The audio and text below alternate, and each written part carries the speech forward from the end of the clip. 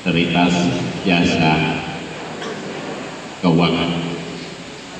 Bapak-bapak dan ibu sekalian, anak-anakku sekalian, oleh karena itu melalui kesempatan ini kami atas nama pemerintah dalam hal ini pemerintah Kota Makassar, Dinas Pendidikan dan Kebudayaan Kota Makassar mengucapkan banyak terima kasih karena Bang Syariah sudah mau berbagi dengan kita semua khususnya kepada peserta didik anak-anakku sekalian. Ini yang kita harapkan adalah orientasi aplikasi lapangannya, isikan dana